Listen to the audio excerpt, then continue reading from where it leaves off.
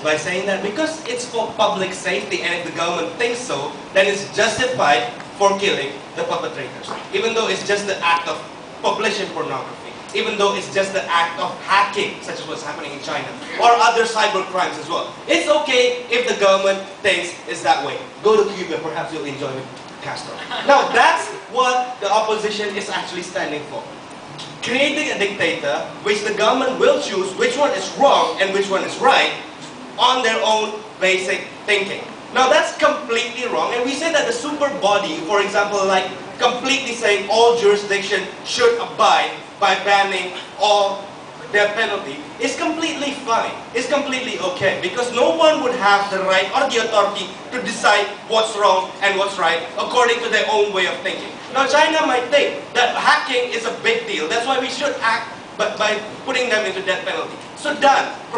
Pro prosecuting them death penalty towards prostitutions. Now these are the kind of thinkings we do not want and this is why we say all jurisdictions should ban death penalty. Now, Michel has clearly spoken on several good reasons, saying that two wrongs does not make a right. Naufal never proved or never touched on this, but just dismissed it and saying that's not what we're talking about. Now, one thing we are saying is that two wrongs does not make right, meaning when you kill a person who killed another person, it's never just, it's never right.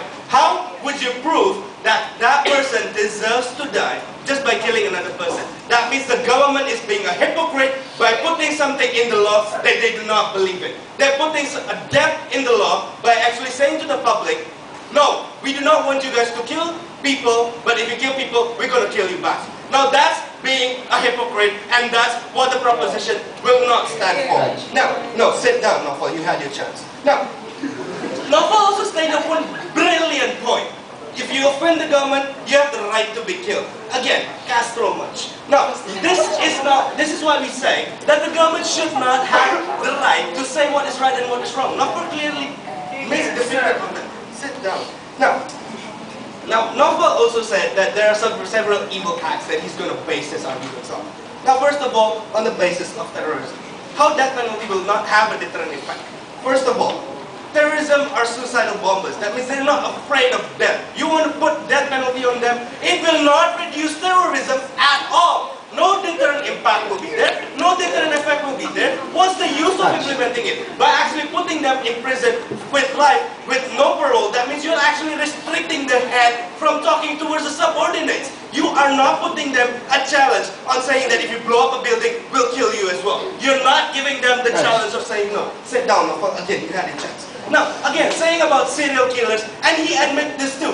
It's a habitual. That means whatever you do, want to implement death penalty as well, it will not reduce serial killer because it's a habitual and a psychological effect. Psychological impact, sorry. Yeah, so that means it will not reduce, if the person has a habit of killing other people or raping other people, that means they would still do it even though there has a chance of death penalty in front of them. It's a habit. It cannot be cured. Naufal said so. Now, yeah. Okay, if he is unable to be cured, why keeping him, keeping him for so long when we could effectively remove them from existential threat to our society? If he's not affected, then we remove, remove him from all, uh, from the earth. That means if a person is handicapped, he's not effective to do anything, remove him from the earth. Now that's what Naufal is saying. Something's wrong with the brain, remove him from the earth. Sit down. Now, that's basically, again, a wrong statement from Naufal. Thank you for saying that. Now, I got two major points of arguments to back up all the jokes I've said. Now, first, there has not been any evidence of deterrent impact. Now, I've kept on saying this again and again. But clearly, the government, the opposition team has not given a specific proof where deterrent impact will exist if death penalty is implemented. For example, in China, publications of pornography is prosecutable with death penalty. But the fact is that Chinese pornography business is actually booming. YouTube, YouPorn is filled with Chinese pornography. There is no way that death penalty is actually going to reduce this. Sit down. In Sudan, prostitution is actually prosecuted with death penalty. But prostitution is actually supplied to the military. And how can you say that prostitution should be prosecuted with death penalty? Now again, there has not been deterrent impact in the major places that death penalty has actually been implemented. Now, on the second point, but before I go on, any points? Closing. Don't you think that exactly the reason you think that um, you're supposed to think that basically pornography is not the same as death penalty. It's also relative to saying that when you kill a genocide, it's also equal to death penalty, sir. It's same relative. Now, speaking about genocides, again, going back to it for the third time, people don't listen. Now, by actually saying that you're going to kill genocide, genocide is actually done by the government. The government who is the one who actually does genocide. How are you going to touch the government in the first place and how are you going to make them not do genocide anymore?